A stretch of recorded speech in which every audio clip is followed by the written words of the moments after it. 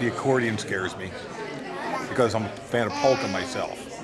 And if he has a good polka, I know I'm down in flames. The magician, unless he's willing to saw someone in half, I don't really see him as competition.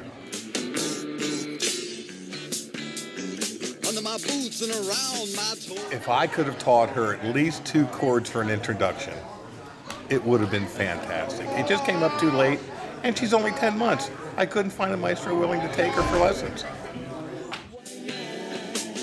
was a hundred degrees below zero.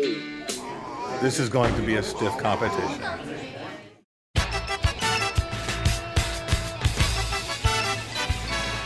I'll preface this by saying I expect a few people to look at me and say, this is two minutes of my life that I'll never get back. Just to let you know up front.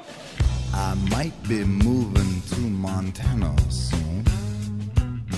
Now, if you've ever had a pet, and you might wonder what the pet is thinking while you're not home, this was written in 1974 by a guy named Francis Vincent Zappa. It was actually a song on an album back in the day. And I've always kind of thought, we had dogs, show dogs through the years, and what are they doing through the day? What might they think? What's their mind like? And this is known as Evelyn, a modified dog. Evelyn, a modified dog, viewed the quivering fringe of a special doily, draped across the piano with some surprise. In a darkened room where the chairs dismayed and the horrible curtains muffled the rain, she could hardly believe her eyes. A curious breeze, a garlic breath, which sounded like a snore. Somewhere near the Steinway or even from within, had caused the doily fringe to walk and tremble in the gloom. Evelyn the dog, having undergone further modification, pondered the significance of short person behavior in pedal depressed panchromatic resonance and other highly ambient domain. Arf, she said.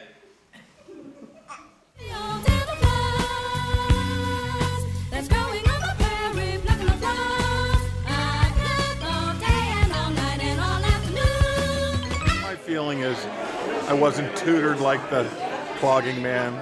I didn't have my teacher present with me, the clogging man. My teacher's been buried since 1993.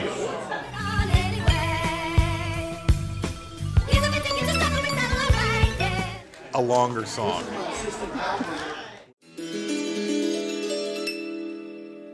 Evelyn, a modified dog, viewed the quivering fringe of a special doily, draped across the piano with some surprise. In the darkened room where the chairs dismayed and the horrible curtains muffled the rain, she could hardly believe her eyes. A curious breeze, a garlic breath which sounded like a snore. Somewhere near the Steinway or even from within had caused the doily fringe to waft and tremble in the gloom. Evelyn, the dog, having undergone further modification, pondered the significance of short person behavior in pedal depressed, panchromatic resonance, and other highly ambient domains. Arf, she said.